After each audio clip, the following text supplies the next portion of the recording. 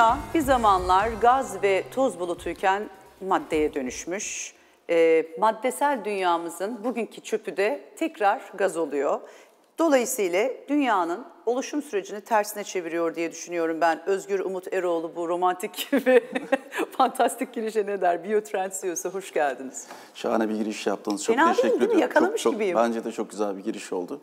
Ee, teşekkür ediyorum öncelikle e, nazik davetiniz için. Ne demek? Hoş geldiniz. Ee, esasında e, dünyadan girmişken biz kendimizi gezegenin sürdürülebilirlik departmanı olarak kurguluyoruz. Çünkü biz e, yaptığımız iş itibarıyla e, büyük bir holdingin içerisindeki diğer e, yaptıkları faaliyetlerden oluşan karbonu, işte plastiği, suyu azaltmak değil, bizim yaptığımız işin bütünü bununla ilgili olduğu için biz bütün gezegene hizmet ediyoruz. Ben de bu e, hoş girişinizi bu şekilde e, desteklemiş Şahane. olayım. Çok güzel bir misyon. Biz dolayısıyla sizinle bugün yenilenebilir enerjiyi konuşacağız. Biotrend bu konuda gerçekten de hızlı gelişen, büyüyen bir firma.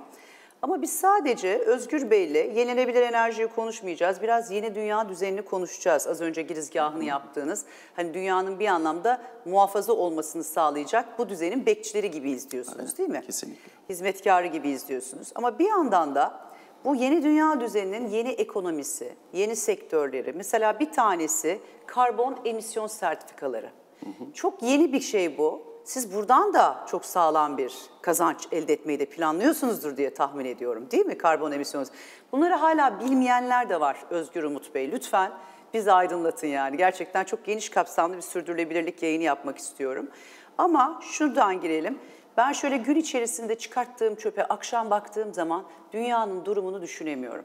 Yani 24 saat içerisinde muazzam çöp çıkartan bir canlıyız biz. Yani hayvanlar bizim gibi değil. Ee, sürdürülebilirliğimiz sıfır gerçekten. Biraz oradan girelim. Nedir mesela bir insanın çıkart, çıkarttığı çöp günde? Çünkü Ee, siz çöpten Türkiye enerjiye dönüştüren, sizin ham maddeniz bizim çıkarttığımız şey. Kesinlikle. Bizim iki çeşit ham maddemiz var. Ee, Bir tanesi evsel atıklar, bir tanesi de tarımsal ve hayvansal atıklar. Ee, 17 tesisimiz var. Ee, Bunlardan iki tanesini e, tarımsal ve hayvansal atıklarla, geri kalanını evsel atıklarla işletiyoruz. Ee, Esasında çıkarttığımız çöp miktarı e, toplumun ya da içinde bulunan e, bölgenin gelişmişliğiyle de ilgili, ekonomik gelişmişlik seviyesiyle de ilgili. Örneğin Türkiye'nin doğu illerinde e, bir kilo bir kişi günde çöp üretirken batıya doğru geldiğimiz zaman bunu 1.4 kilolara e, kadar çıktığını görüyoruz. %50'lik bir artış var neredeyse Evet. yani gelişmişlik düzeyinde. Evet. Biz gelişmeyelim o zaman fazla. E, çöp uza Gelişmemiz hayır alamet değil. E, biz ise yaptığımız fizibilitelerde bunu ortalama olarak 1 kilogram olarak alıyoruz. Yani bir kişi 1 kilogram çöp üretiyor. 80 milyon kişi olduğumuzu düşünürsek biz günde Türkiye'de 80 bin ton çöp üretiyoruz. Ve bu çöplerin de işte büyük bir kısmı bizim gibi e, tesislere geliyor ve buralarda bertaraf ediliyor. Muhtelif teknolojik yöntemlerle. Sizin ama ham maddeniz biyolojik çöp değil mi? Böyle Organik. tanımlayabilir miyiz? Yani organik. Bütün evsel atık karışık olarak geliyor. Buna karışık evsel atık diyoruz biz. Fabrikaya girdikten sonra bu ayrıştırılmaya başlanıyor. E, plastikler kendi içerisinde gruplanıyor. Metaller ayrışıyor. Alüminyum ayrışıyor. Organik fraksiyon dediğimiz ki az önce sizin konuşmanızın başında bahsettiğiniz o gaz üreten şey organik kısmı. Zaten. Yani yeme içme artıklarından O gaz oluşuyor. plastikten çıkmaz mı? çıkmıyor. O Tamam. gaz plastikten çıkmıyor. Bir çöpün enerjiye dönüşmesi için e, organik atık olması Organik gerekiyor. atık taraf, organik e, muhteviyatı ne kadar yüksekse o kadar gaz çıkartma potansiyeli var. Bu da dönemsel olarak değişiyor. Örneğin deprem olduğu zaman doğudaki illerdeki tesislerimizde daha çok ambalajlı gıdalar tüketilmeye başlanınca oralarda mesela çöpün içerisindeki muhteviyat organik e, Ben- azalmaya başladı Endüstriyele döndü. gibi mesela. Anladım. Ee, şimdi e, sizin ama plastikten de bir değil mi? Enerji üretme gibi bir derdiniz de var. Ama ilerleyen dönemde mi olacak o? Şöyle bu sene esasında bizim e, derdimiz e, dünyanın derdiyle paralel. Biz e, dünyanın plastik derdine, dünyanın sürdürülebilir yakıt derdine, dünyanın ucuz ve ulaşılabilir enerji derdine e, çözüm olmaya çalışan e, Türkiye'nin tek ve en büyük halka açık e, biyodöngüsel ekonomi platformuyuz. Ee, az önce karbon e, konuştuk, ona tekrar geleceğim. Tabii, tabii, Ama biz o sonra. plastikle ilgili, şimdi dünyada 1950 yılından bu yana yaklaşık 9 milyar ton plastik kullanılmış. Bu 9 milyar ton plastiğin sadece ve sadece %30-35'i işte o ya da bu şekilde ekonomiye geri dönmüş. Geri kalanı tamamıyla okyanuslarda, ormanlarda, akarsularda yahut da toprağın altına e, gönderilmiş.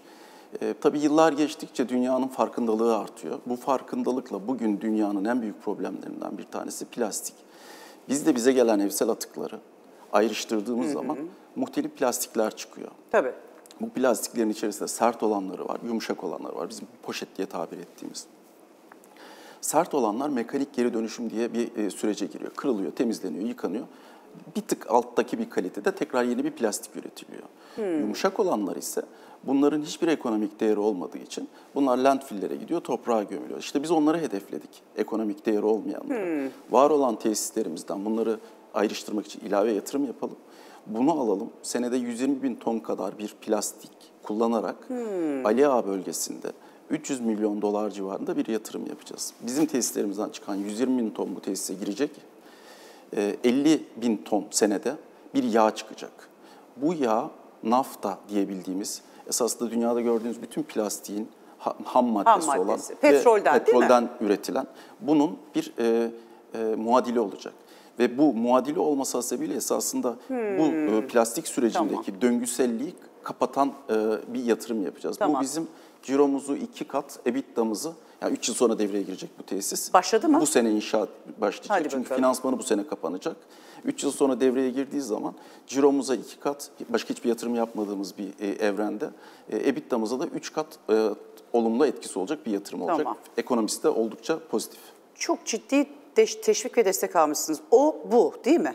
Evet. Ta- Onu ayrıca soracağım ben. Tamamdır. Çünkü yeni dünya düzeninde böylesi yatırımlara nasıl destek verildiğini, şu an finansman, cayır cayır finansman arayan firmalara da duyurmak lazım. Yani işte yol böyle olduğu zaman acayip destekler geliyor. Kesinlikle. Orası ayrı konu ama siz sonuç itibariyle plastikten yağ elde etmeyi hedeflediniz. Naftanın muadili olan yağ elde edeceğiz. Tamam. Buradan da Bu plastik yağlar mesela bütün endüstrilerde, otomobilde vesaire kullanılabilecek bir yağdan mı söz ediyoruz biz? Ne, neye dönüşüyor mesela? Bu yağ- Kim kullanır bunları?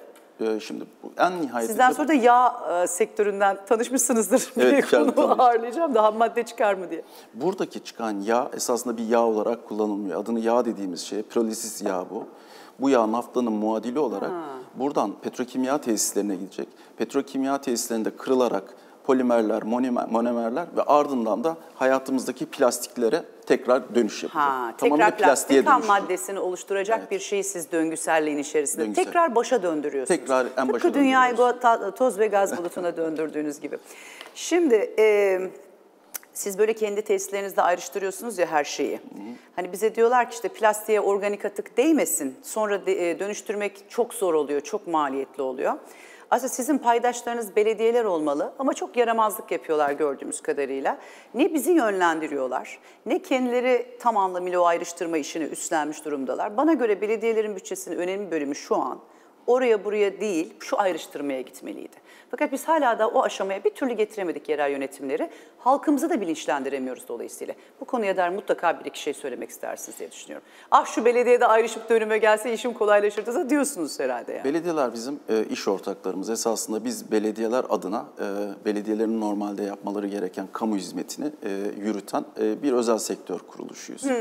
Türkiye'de Hmm. O e, ayrıştırma işi bizde diyorsunuz yani zaten. bu ayrıştırma işi şu anda bizde. Yani bize taşere edilmiş durumda.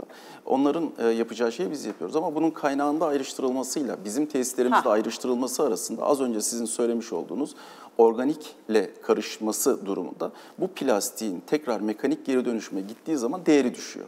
Kaynağında dönüş e, ayrıştırılmış bir plastik mekanik geri dönüşüme giderse ya da bizim tesisimizden ayrıştırılmış olan giderse bu ikisinin ekonomik değerleri birbirlerinden farklı. Dolayısıyla değerli olan şey kaynağında Kaynağında. ayrıştırma. Kaynağında ayrıştırmayı açalım biraz. Bizim evimizin önünde, iş yerimizin önündeki çöplerde ayrıştırmaktan bahsediyoruz. Yani birbirine hiç Karışmadan, bulaşmadan değil mi? Ondan Evde bahsediyorsunuz. kal. Orada bile değil. Evimizde bunu ayrıştırmaktan bahsediyoruz. Esasında bunun bir motivasyon mekanizmasının olması lazım. Şimdi insanlar bunu neden yapsınlar?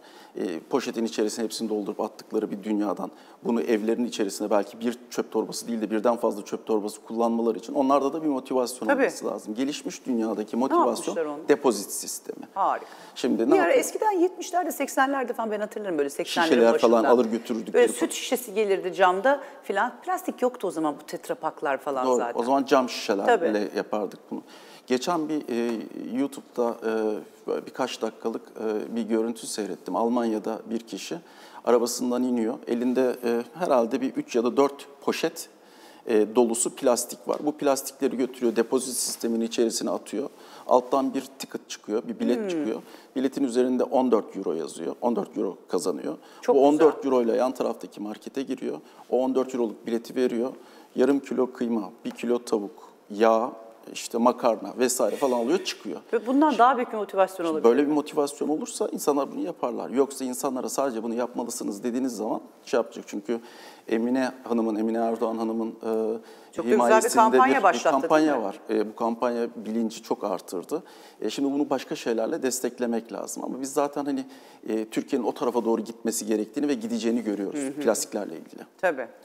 Ee, belediyelerde böyle bir niyet var mı? Yani biliyoruz bunları farkındalığımız var da adım atma konusunda sıkıntımız var. Ya da belediyelerin yanında kamu mu e, destek vermeli burada? Ne olmalı sistem mesela ayrıştırma, kaynağında ayrıştırma konusunda ve motivasyon konusunda, tüketicinin motivasyonu konusunda? Bu bundan birkaç yıl önce e, ben o zaman enerji sektöründeydim, bu sektörde değildim. Sanırım gündeme gelmiş e, Türkiye'de depozit sisteminin kurulması ile ilgili. Evet ara ara Fakat böyle bir uçuyor çok, çok haber. ciddi bir yatırım gerektiriyor bu. İşte e, bu depozit makineleri dediğiniz şey bir teknolojik ürün. Bu makinalara yatırım yapacaksınız. Bunun e, Türkiye'de belli bir yoğunlukta yaygınlaştırmanız lazım. Tabii. Çünkü insanlar arabalarına binip buraya gitmeyecekler. Buna ulaşımlarını kolaylaştırmanız lazım. O zamanki CAPEX e, yoğun e, mizacı nedeniyle olamamış. Ama ben hala gündemde olduğunu biliyorum. Yakın zamanda bunu görürüz diye tahmin ediyoruz. Eli kulağında diyorsunuz. Çünkü bir yandan da üzerimizde yaptırımlar bizleri bekliyor değil mi? Demokrasinin kılıcı gibi 2030 gibi bir önümüzde bir şey var.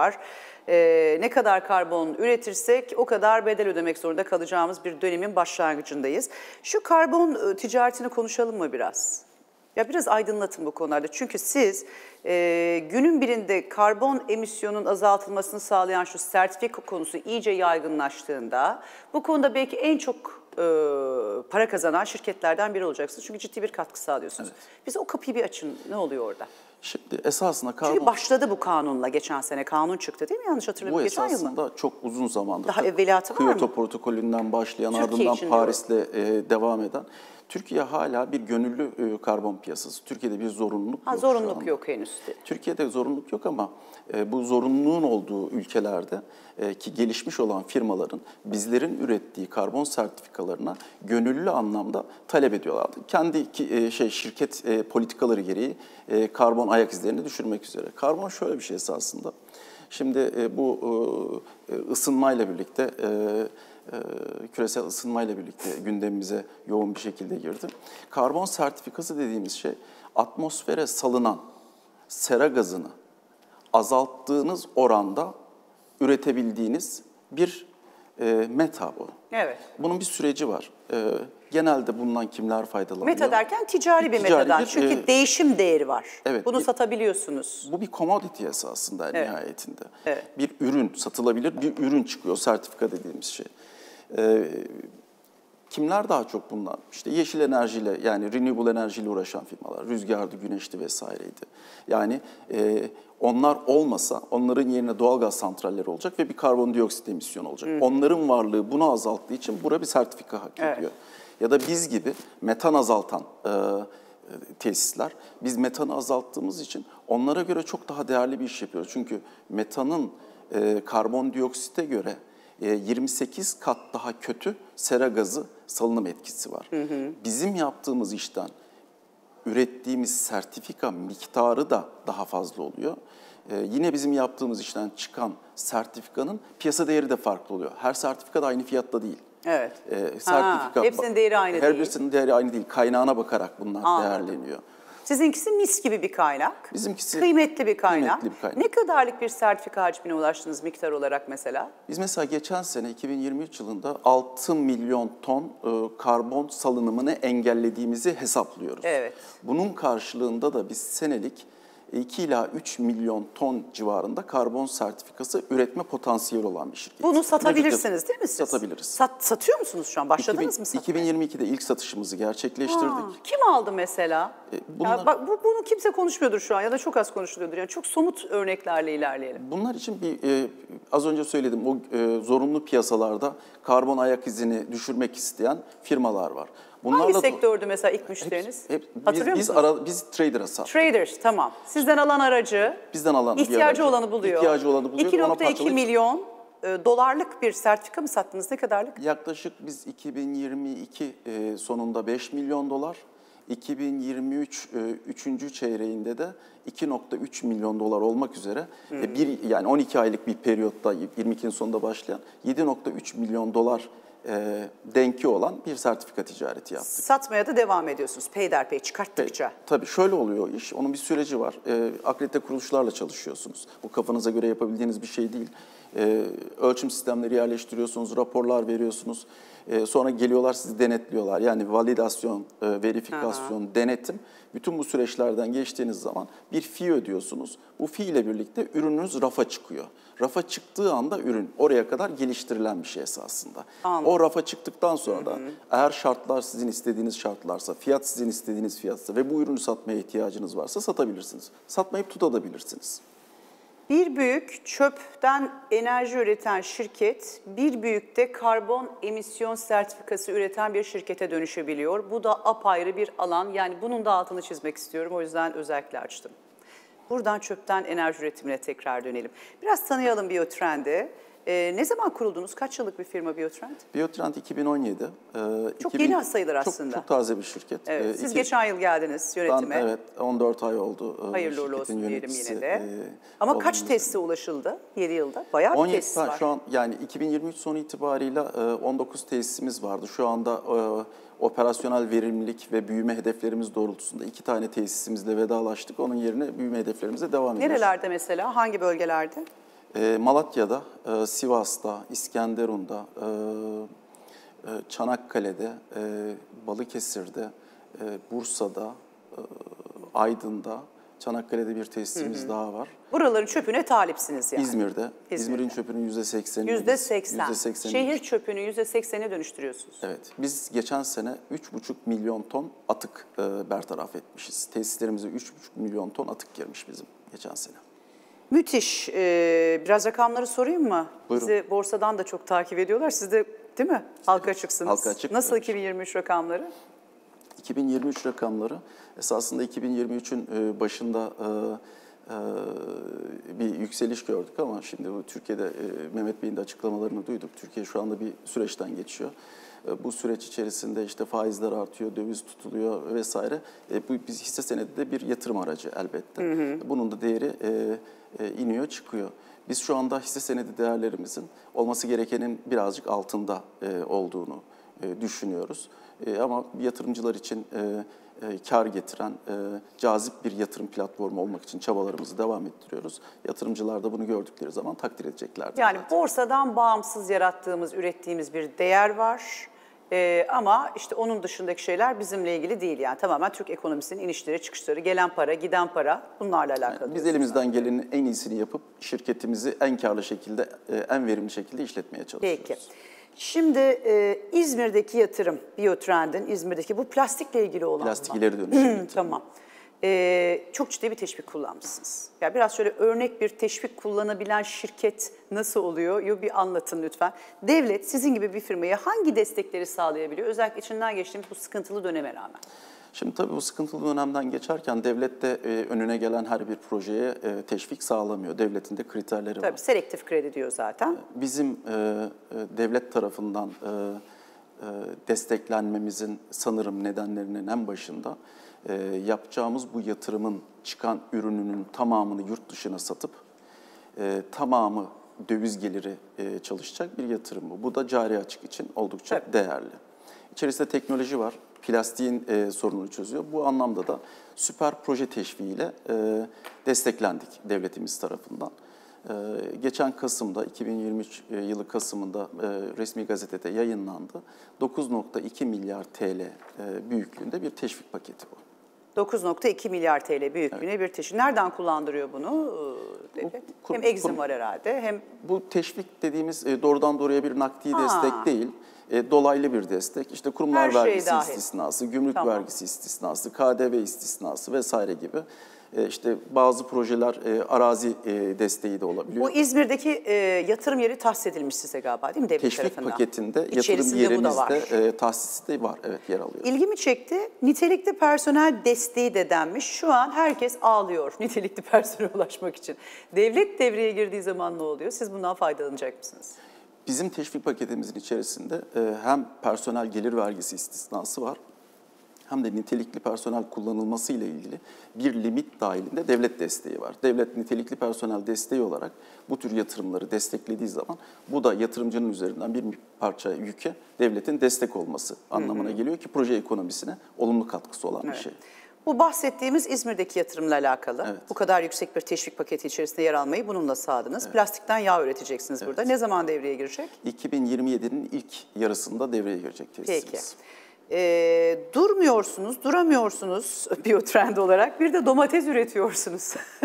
Biraz onu da açalım. Çok güzel geldi bana o iş. Ya biliyorsunuz şimdi seracılık, e, bu cam seralar, e, plastik seralar falan bir süreden beri var olan bir şey. Seracılık yeni bir konu değil.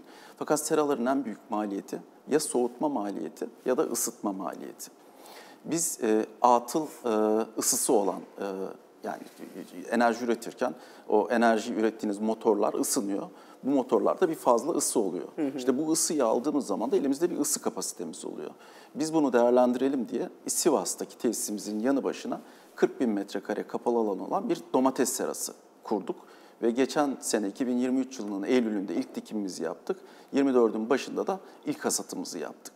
Şimdi bunu niye Sivas seçtik? Sivas'ın soğutma problemi yok, ısınma problemi var. E, ısıt da bizden geldiği için projenin e, ekonomisine oldukça katkısı e, olacağını düşündük. Ekonomik e, anlamda bize e, katkı sağlayan bir proje, değerli bir Ne çıkıyor? Hangi tür domates çıkıyor? Baktınız Salkım mı? Yediniz mi? Yedik. E, sizle de e, paylaşalım. Vallahi çok heyecanlanırım. Yani çok e, salkım, salkım domates çıkan domates ve tamamı yurt dışına ihraç edilen bir ürün. Onu da Müthiş. yurt dışına ihraç ediyoruz. nereye kim aldı sizden? Ee? Almanya ve Hollanda'ya gönderiyoruz biz. Ee, bu sene e, şimdi ilk hasat yılı olunca dikim zamanını tam e, denk getiremedik. E, şimdi Mayıs ayında sökümleri yapıp Haziran ayında yeni dikim yapacağız ve yeni sezona hazırlanmaya çalışıyoruz. Yani çok yüksek bir ısı kapasiteniz var değil mi? Evet, atıl bir Seranın ısımız var, seranın da ihtiyacı Atıl var. bir ihtiyaç. Ne yapayım ben bunu tarımda kullanayım. Mis gibi sürdürülebilir tarım diyorsunuz anladığım kadarıyla. Kesinlikle öyle. Bununla ilgili ödül de aldık geçenlerde Enerji Bakanımızın elinden. Tebrik ediyoruz. Gerçekten tebrik ediyoruz. Müthiş bir örnek. Dinlemek heyecan uyandırdı. Var mı bilmediğimiz bir yer? Çok teşekkür ediyorum. Çok Şahane bir yayındı. Çok teşekkür ediyorum. Ben teşekkür ediyorum. Sağ olun. Kısa bir reklam arası. Biyotrend'i tanıttık. Yeni dünya düzeninde böylesi bir aklın e, önünün nasıl açık olduğu ortada. Ciddi bir teşvik ve destek de var. E, rüzgar Biyotrend'den yana esiyor diyelim. Kısa bir reklam arasına gidelim.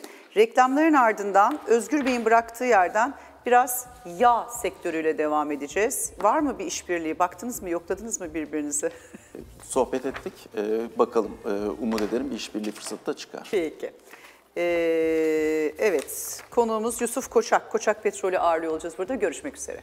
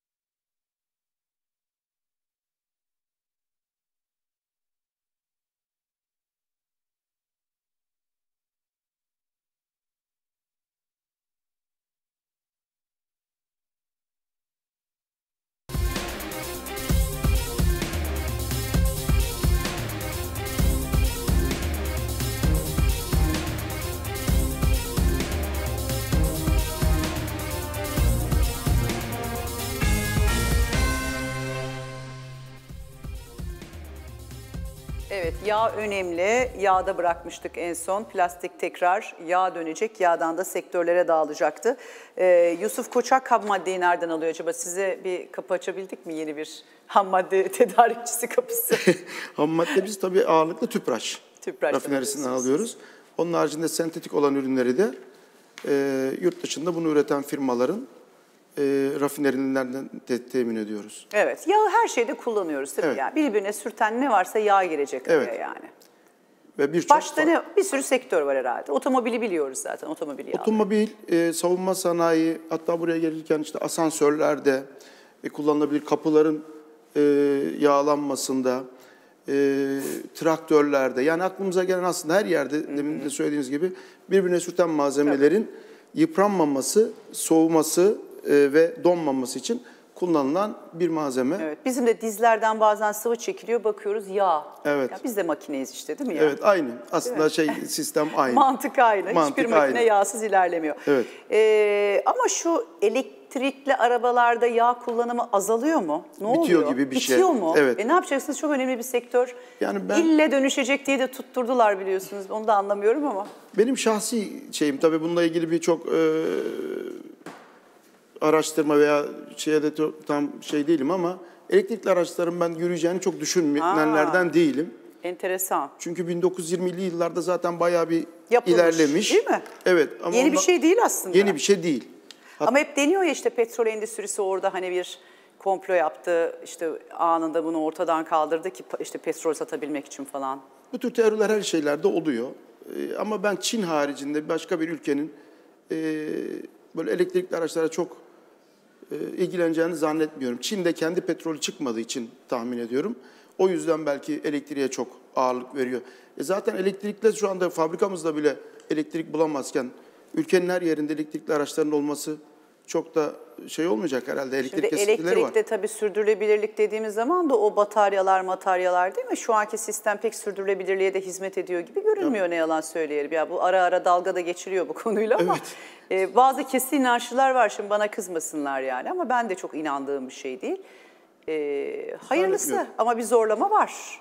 Ee, bakalım ileriki zamanlar ne gösterecek? Belki de hepsi çöp mü olacak? Belki de başka bir şey mi gelecek? Hidrojen e, var işte konuşuluyor. Evet. Ben bir de petrolün bitmeyeceğine inananlardanım. Petrolün dünyada biteceğini zannetmiyorum. Evet. Yani o dünyanın sonu dediğimiz şeyin zamanına kadar herhalde petrol olacak.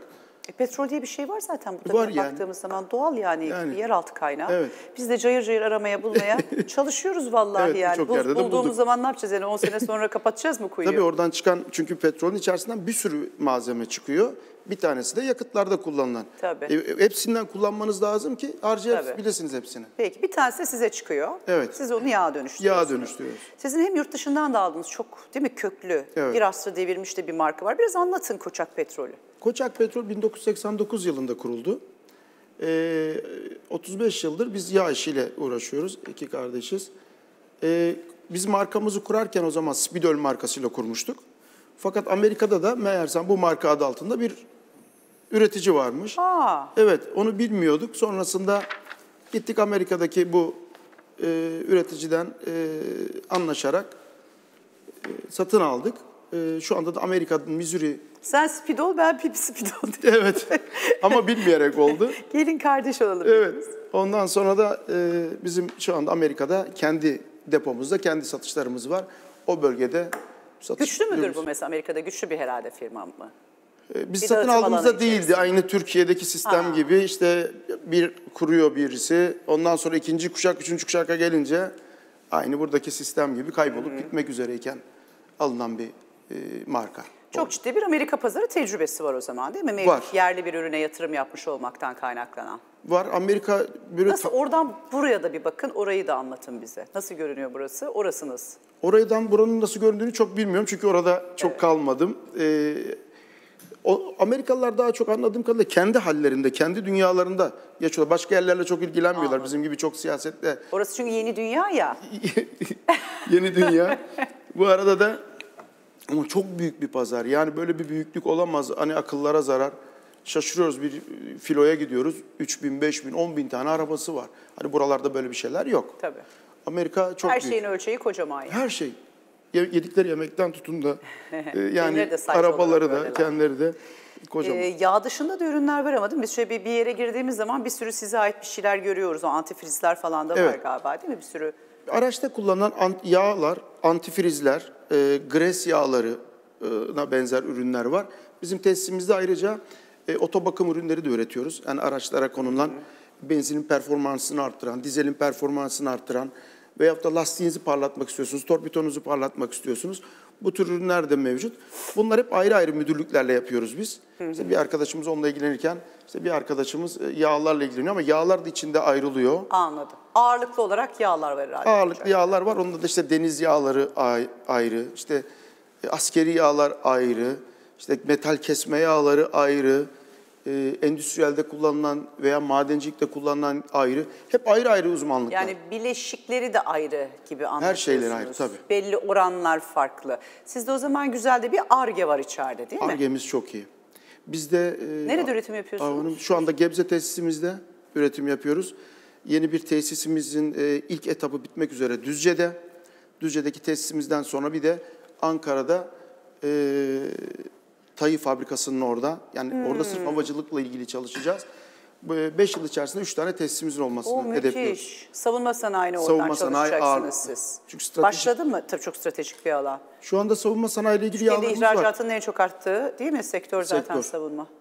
Şu anda e, savunma sanayi ile ilgili zaten yıllardır çalışıyoruz. Deniz kuvvetleri olsun, jandarma olsun, işte tanklarımızla ilgili olsun zaten çalışıyoruz. E, bununla ilgili de yeni ürünleri biz ilk e, Türkiye'de Eskişehir'de TEİ motor fabrikasında üretilen PD170 e, motorunun onaylı e, motor yağı üreticisi olduk. Şu anda da o Anka, e, Anka 2'de kullanılıyor. Evet, bunlar kolay değil bu arada herhalde. Siz oturdunuz birlikte ARGE de yaptınız. Tabii. Sanki değil mi? hem kolay değil hem de şeyleri çok zor. Ee, maliyetleri çok zor. Çünkü bir uçak motorunda bunu kullanıyorsunuz. Bunun maliyeti çok ciddi bir maliyet. Bir otomobil değil yani. Otomobil değil. Çünkü havada uçuyor. Tabii. Yani e, havacılıkla uğraşanların bir tabiri var. Havacılık tarihi kanla yazılmıştır. Yani küçücük bir hata size çok büyük şeylere mal olabilir. Allah korusun. Dolayısıyla havacılık e, çok başka bir şey. Evet. Çok başka.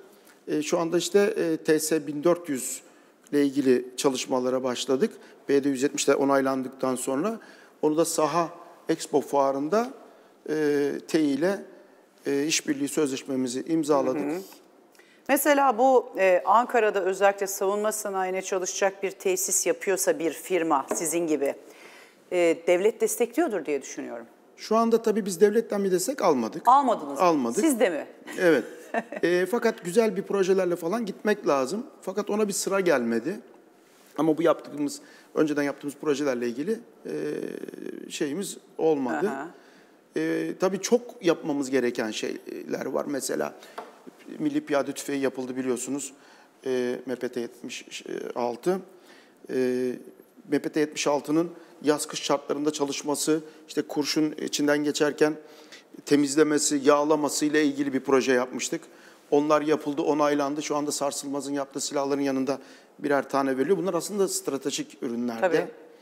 Bunlar eskiden ithal mi ediliyordu Yusuf İthal Bey? ediliyordu e, ve pahalıya ithal ediliyordu.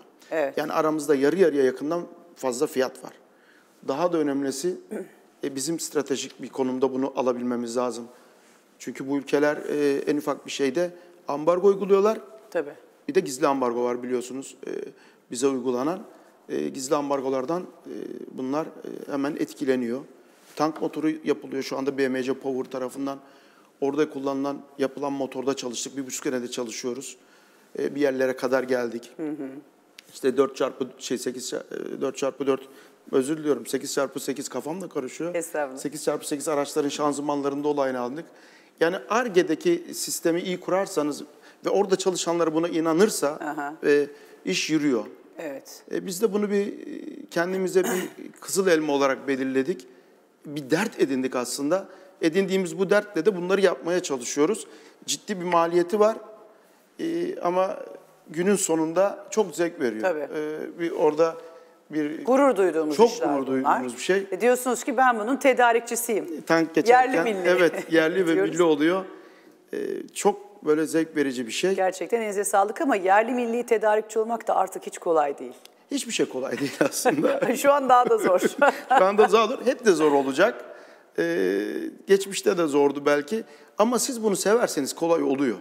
Yani Vallahi. demin dediğim gibi dert edinirseniz kolay oluyor. Dert edinmezseniz işe sırf para kazanma açısından bakıyorsunuz. Ee, veya başka açıdan bakıyorsunuz. Ama ben bunu yapalım arkadaşlar işte toplandık, konuştuk Arge'de. Bunu gelin gecemizi gündüzümüze katalım. O zaman oluyor. Yoksa öbür türlü bu iş. Mesela e, destek alıyor musunuz? E, demin Ankara'da hiç kullanmadım destek dediniz. Düzce'de de var bir Düzce'de tesis. e, yatırım teşvik Arge tarafında var mı mesela yatırım? Arge tarafında e, bazı cihazlarda aldıklarımız oldu ama devam ettirmedik. E, çünkü onunla da uğraşmak başka bir iş. Bu sefer o bir işi kaybediyoruz. Bir sürü şey bürokrasiye Bürokrasi evrak var. yetiştirmem lazım diyorsunuz.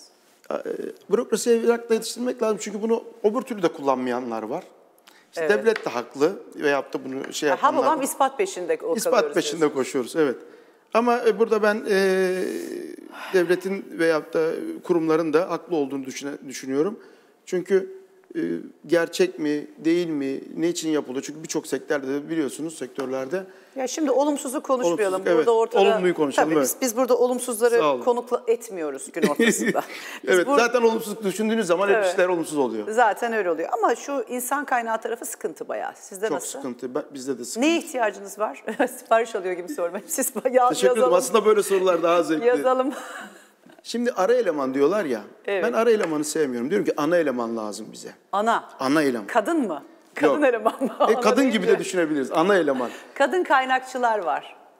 Kadın kaynakçı, kadın tır şoförü, kadın... Evet. E, Tabii ülkemizde şimdi ayrılacak. Gedik şu an kadın kaynakçıların e, Evet. eğitim inşallah Veriyor. ağırlamak da istiyorum, arzu ediyorum kendisini çok da sevdiğim bir isim.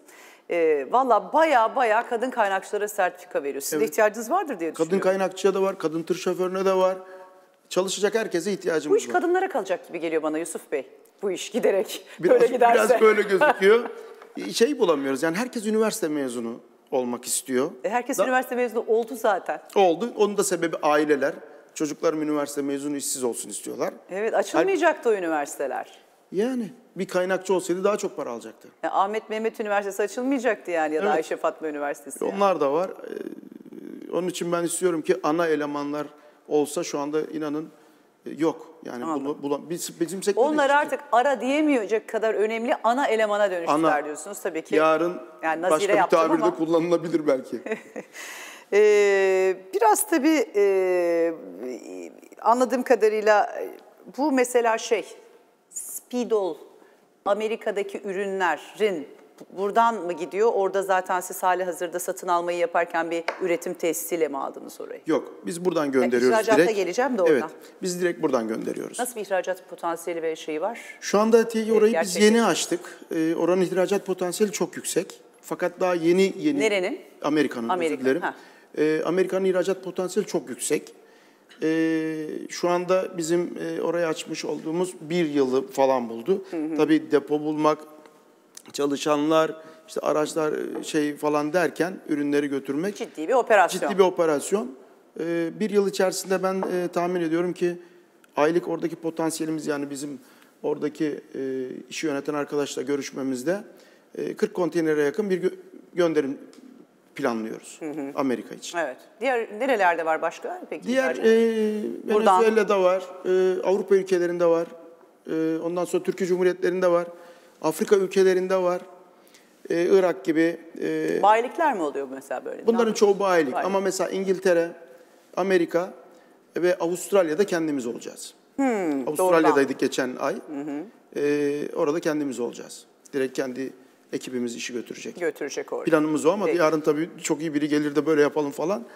Tabii değişebiliyor ama biz kendimiz olmak istiyoruz. İnşallah. Beş kıtada da olmak istiyoruz. İnşallah. Yolunuz açık olsun. Çok Tebrik teşekkür ediyoruz ediyorum. Yusuf Koçak. Çok memnun oldum. Çok teşekkür ederim. Ee, Yeni başarılarınızı ağırlamaya devam edelim Çok size. teşekkür ediyorum, sağ olun. Kısa bir araya gidelim. Çok kıymetli bir sanatçımızı burada ağırlıyor olacak, e, olacağız değerli izleyenler. Bizden ayrılmayın diyoruz.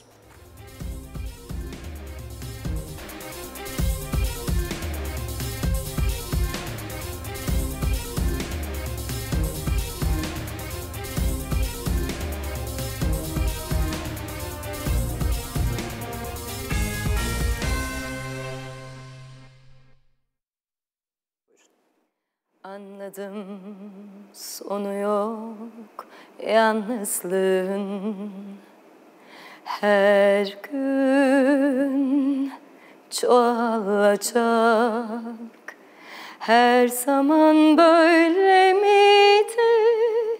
Bilmiyorum. Sanki dokunulmazdı. Çocukken ağlamak Alışır her insan alışır zamanla. Kırılıp incinmeye çünkü olan yıkılıp yıkılıp yeniden ayağa kalkmak. Yalnızdım yollarıma pusu kurmuş beklemekte. Acılar gözlerini dikmiş üstüme nöbette. Bekliyorum, bekliyorum, bekliyorum. Hadi gelin üstüme korkmuyorum. Bulutlar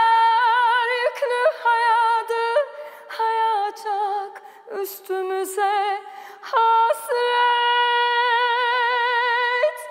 Yokluğu ben baş başayız nihayet Bravo. Müge Ökten, şahane bir sesiniz var. Teşekkür ederim. Akşama program var mı? Aa, set var sizden sonra Sete Tekirdağ'a gideceksiniz gidiyorum. Tekirdağ? Evet, Allah kısmet ederse evet. İyi ki geldiniz, hoş Çok geldiniz. teşekkür ederim. Bir müzisyen, gördüğünüz gibi mükemmel bir ses. Ama sadece müzisyen değil, aynı zamanda bestecisiniz. Evet söz Bir müzik akademisyensiniz aynı zamanda değil mi? Nasıl? Akademisyensiniz yani, Ben öğretim üyeliği de yüksek yapmışsınız. konservatuar, evet hocamın yanında zamanında derslere beraberinde girdim. İstediler üniversitede kalmam ama bir sahne sevdası olunca ikisini beraber götürmek zor oluyor. Daha önce gene bir özel güzel sanatlar sesinde 3 yıl müzik bölüm başkanlığı yaptım. Zaten konservatuara ve liselere, müzik liselerine, eğitim fakültelerine çok öğrenci hazırlıyorum. Küçük yaşta girmek isteyen öğrencilerimiz de oluyor. Elimizden geldiğince destekliyoruz. Şimdi sizi ben Müge Ökten'in çocukluğunu hayal ediyorum. Herhalde elinizde böyle bir şey değil mi? Ne geçirirseniz şöyle. değil mi? Duşta, orada, burada. Evet. Bir dakika size bir konser vereyim. Nasıldı çocukluk? Hala apartmandan girerken bu yaşta da ayna var tam apartmanın girişinde. Böyle karşısına geçiyorum şarkı söylemek geliyor içimden. Ay çok şeker. Patlatıyorum bir tane Bir hatta Müge diyorum Ökten apartmanında oturmak bir şans yani diyorsunuz. diğerleri için. estağfurullah sizin programınıza gelmek de bir şans benim için. Hayatta nefes olmuyor. almak bile şans. Peki e, nasıldı çocukluk hakikaten? Anneannem dermiş ki bu kız ya işte şimdiki zamanıyla dansçı, anneannem o zaman dans söz diyormuş ya da diyormuş şarkıcı olur. Ben de ikisinden birini oldum. Sürekli gösteriler, şovlar. Evet modern dans da yapıyorum. Anneannemin dediği çıktı. Sizin dediğiniz gibi komik bir çocukluğum var. Böyle mastika mastika yapıyormuşum. Hep böyle koltuğun. O zaman da şehlaymışım zaten. Gözlerim koyuyormuş. Zayıfmışım bayağı. Bir buçuk yaşında başlamışım şarkı Ama o çocukluk hayalleri bitmemiş. Peşinden kovalamışsınız. Ama yani çünkü bir sürü çocuk böyle işte şov yapıyor, dans ediyor filan. Ben dansöz olacağım diyor, şarkıcı olacağım diyor. Sonra vazgeçiyor. Ama Müge Ökten'i orada tutan çok daha derin bir şey zaten ve e, daha da yüksek bir yetenek büyük bir ihtimal. İşte sesini de az önce dinledik. E, e, nerelerde, kimler şanslı? Müge Ökten'i nasıl izleyelim biz? Var mı program önümüzdeki dönemde? Benim dedem bu arada TRT sanatçısı, kurucularından İzmir TRT Radyosu'nun Ziya Ezgin. Ben onun elinde büyüdüm. Şu an menajerimle beraber geldik zaten. Şu an benim e, bir menajer değişikliğim oldu. O yüzden bütün e, dijital platformlardan, sosyal medyadan görebiliyorlar e, yapmış olduğum konserleri. Oradan takip edebilirler Müge Ökten olarak. Anladım. E, tabii ki çok yeni konserler ve sahneler var şu an. Doğal olarak isim veremiyorum televizyonda tabii. ama, Ama sosyal medyama Evet, girsinler. sosyal medyamda her şeyi görebilirler net olarak. Peki. Enstrüman da var ama gördüğüm kadarıyla. Sizin böyle bir kemanlı şeyleriniz var değil mi? Fotoğraflarınız. Ne çalıyorsunuz Müge Hanım? Ben Nerede keman- öğrendiniz ve ne zamanı? Keman da çok zordur ya. İzmir Güzel Sanatlar Lisesi'nde keman piyano bölümünü okudum. 9 Eylül Üniversitesi'nde ses eğitimi piyano okudum. Yükseğimde yine ses eğitimi piyano üzerine. Keman da hep beraberinde devam etti. Sahnelerde kemanı şov ağırlıklı kullanıyorum. Ne Piyano yapıyorsunuz mesela? şov. Arada ama bir herhalde kemanla Evet. değil mi? Hem çalıp hem söylüyorum. Hem çalıp hem söylemek ama kemanla çalıp söylemek de ayrı bir şey olsa gerek herhalde. Eşlik ediyor orkestram o sırada. Hı hı. Yani çok uzun zamandan beri sahnedeyim. 17 yaşından beri sahnedeyim ben. Harikasınız. 2014 ile Doğuş'ta bir düetim oldu. Onun öncesinde zaten İzmir'den beni bir e, popstar yarışma furyası aldı, getirdi. Oraya katıldınız mı siz o popstarlara? Evet, ilk İstanbul'da. 12'deydim. Evet, o zaman da bayağı gençtim. Aile izniyle girdim. Hı hı. Zaten ben TRT'den geliyorum. E, müzik okuyarak geldim bu işe. Ve sonrasında işte e, şarkılar birbirini kovaladı. Hı hı. En son e, Meral Çetinkaya ile çok güzel bir e, klip yaparak Sabret adlı şarkımı çıkardık. Benim için sözleri çok anlamlı. Sizin mi beste? Ee, Gökhan e, Pars'la paylaştım sözlerini ve müziğini. Ve orada bir farkındalık hikayesi, hayat hikayemi işledik. Meral Çetinkaya benim yaşlılığımı oynadı. hı. Ee, ve benim klip açısından hayatımda tap olduğum bir... Biraz anlatın onu ya en azından e, Tabii. hayat hikayesini iki dakikaya sığdırdınız herhalde Ben orada ama. e, çok şükür e, iyi bir aileden e, geliyorum ama tabii ki sahne hayatının zorlukları var. Annem babam hiçbir zaman beni e, sahne hayatında yalnız bırakmadı. Tabii ki de kolladılar ama çevremde dostlarım, dualar, çok inanırım enerjiye. Ama tabii e, sahne hayatı zor. Genç atılınca gerçekten bu camianın zorluklarına çok yakından tanık oluyorsunuz ve ben de oldum. Bir yandan hem müzik okuyarak hem de e, müziğin hayatını öğrenerek geldim ben bu günlerime. Gerçekten böyle tırmalayarak. Bu dönemlerde benim hassaslıktan dolayı e, biraz e, psikolojik olarak e, çocukluğumda da çok duygusalmışım. Bu söz beste yazma da belki oradan geliyor. Tabii ki e, hassaslık rahatsızlığı diyoruz. Rahatsızlık mı diyorsunuz ona? Evet, hassaslık rahatsızlığı, anksiyeteler, e, panik ataklar dönemi Sanatçı oldu. diyelim. Evet. Sanatçılar öyle oluyor. Ve gerçekten hani e, bu bende bir farkındalık yaşattı. Çünkü benim e, ağır nöbetlerim oluyordu. Evet, bu bende bir farkındalık yaşattı. Benim e, tabii ki daha önce e, tasavvuf felsefesi üzerine ve enerji üzerine çalışmalarım vardı. Hayatımda da gerçekten e, kayda değer üstadlarım var. Allah biliyor kalbimi. E, ve e, bu farkındalık hikayesini anlatmak istedim ben. Her insanın hayatında sağlık üzerine, yaşam üzerine mutlaka dönüm noktaları oluyor diye. Sabret klibini izlerlerse zaten e, Ahu Hanım orada ayrıntılara dikkatli bakarlarsa ne demek istediğimi çok net anlayacaklardır. Ya çok önemli bir şeyden bahsediyorsunuz. Çünkü içinden geçtiğimiz dönem o kadar psikolojik rahatsızlıkların arttığı, e, o kadar enteresan şeylerin böyle ulu orta kamuoyuna saçıldığı, döküldüğü öyle bir noktaya gelmiş ki insanlar artık içlerindekini de tutamıyorlar.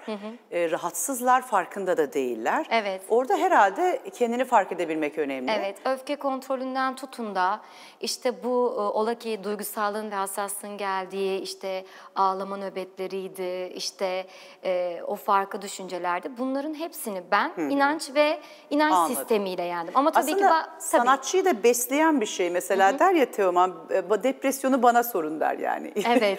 Aylarca depresyonda kalan bir Evet. insanım ben der. Ama oradan da inanılmaz besteler çıkıyor. Bir yandan da aslında sanatçının da beslenme alanı o e, arızalı yerler diyelim yani en hafif tabirle değil mi? Yani Kesinlikle. o duyarlılık olmasa zaten o besteler çıkmıyor baktığımız zaman. Aynen öyle. Tabii ben bu arada, benim ailemde de televizyoncular var. Ben bu arada daha önce çocuk programı da sunmuştum. Ve e, böyle e, o dönemde de oluyordu. Ben sadece çaktırmıyordum. Hani hep onu e, geldiğinde yönetmeye çalışıp işimi hep yaptım. Evet. Ama inanın işte bu inanılmaz bir manevi yorgunluk yapıyordu bende. Evet. Şimdi ben biraz daha bunu aşmış olmanın rahatlığıyla ilerliyorum.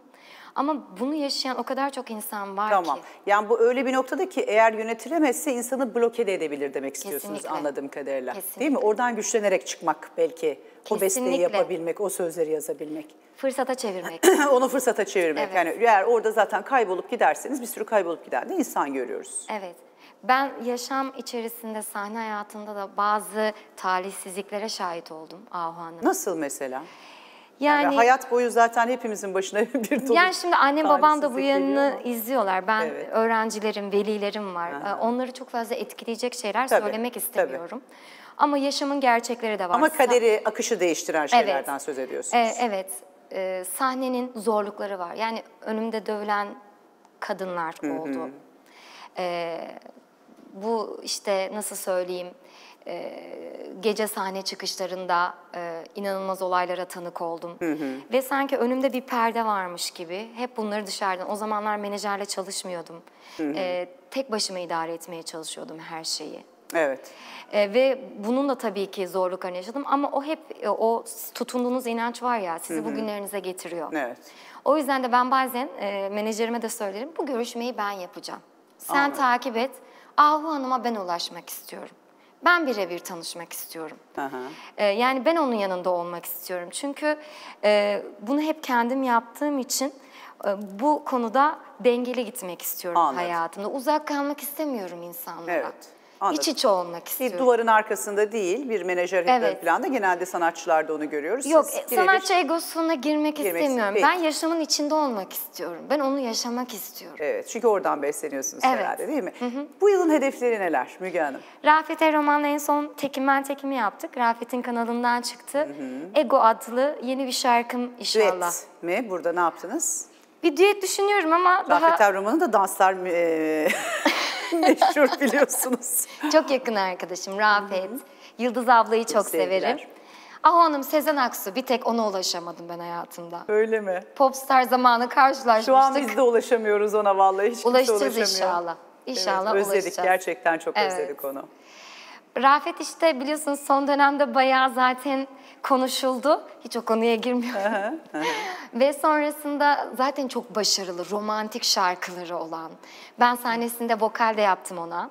Onun vokalliğinden de gelmeyeyim. Ve düetler çok yaptım sahnesinde. Ee, Doğuş'a, Rafet Erroman'a, Yıldız Tilbe'ye ben tabii ki bir gönül vefam var. Hatta Doğuş'un filmine gidiyorum şimdi. Beraber oynayacağız filmde. Bana çok güzel bir rol seçmişler. Sizden sonra sete ışığınızla Ha, set beraber. dediğiniz Tekirdağ şeyi orası Tekirdağ yani. orası evet. Anladım. Çok dile getirmiyorlar şu an ben söylemiş oldum ama. Oradan da müthiş bir hikaye doğuş dediğimiz zaman zaten o zaten romanlara konu olabilecek bir değil mi? Evet. Hikayeden söz ediyoruz. Sanat hayatımda el veren insanlar asla onları unutmam. Şu anki konumumda Allah hepsinden Peki. gönül borcumu bilsin. Müge Ökten yolunuz açık olsun. Çok teşekkür ederim. Ee, sahnenin yanına anladığımız kadarıyla belki sinemada eklendi ve devamı arkası gelirse inşallah o da ayrı bir kariyer olacak anladığım kadarıyla değil mi? Evet, daha önce müzikalde oynadım. Zaten müzikalde Evet. sahne geçmişiniz var. Evet. Ee, sizin güzel sesinizi bir gün sahnede dinlemek ve izlemek sizi dileğiyle diyorum. Ağırlamak isterim eşinizle beraber. Sizleri misafir etmek isterim konserde. Lütfen. İnşallah. Lütfen. Görüşmek üzere diyoruz. Sizleri gördüğüme çok sevindim. Eko Türk'e çok teşekkürler. Çok teşekkürler. Selamlar. Şöyle çok bir sizin mersi. şarkınızla bitirelim. Yavaş yavaş fade out yapalım sevgili yönetmenimden. Ne? Peki. Kısa böyle çok kısa. Hayatın rengini kese kese gör. Olsa da yaşamın gözü bize kör. Sorularıma cevap araya araya. Usandım sabret. Sakın olayılma. Boşun arasına dolu koymak için Soldum. Yarınımı açacak olan o güneş Dondu Fırtınanın içinde kendimi kaybettim. Oğlum Karanlığın arasına hapsoldum. Sen yoktun. Artık bana bir ses ver ne olur. Artık bana bir el ver ne olur. Artık bana bir ses ver ne olur. Artık bana bir el ver ne olur